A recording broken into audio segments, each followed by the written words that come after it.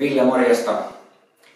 Mä oon käyttänyt kiropraktikkopalveluja sellaisen vuoden verran. Suositeltiin käyttämään, mulla oli kovat kivut tuossa noin vuosi sitten ja pelasin tennistä aika paljon. Ja, ja tota, sen jälkeen suositeltiin kipuja vähän lievittääkseen, tulin käymään ja, ja tota, sain oikeastaan muutaman kerran jälkeen apua, apua ongelmiin ja, ja sen jälkeen tehtiin pieni suunnitelma jatkoon, että millä voitaisiin ennaltaehkäistä. Ja, ja tota, mulla taisi olla vähän vielä myös pituuseroa jaloissa ja, ja sitä lähdettiin korjaamaan ja sen kautta on oikeastaan niin saanut, saanut selkää kuntoon. Ja tuossa oli pieni tauko, puolen vuoden tauko ja huomasin, että kipu, kipu palasi uudestaan ja nyt ollaan taas uudestaan hoidoissa.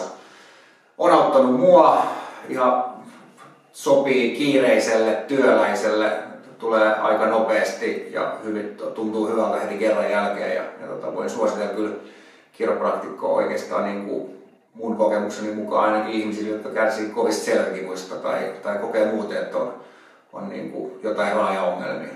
Lämpimästi voin suositella.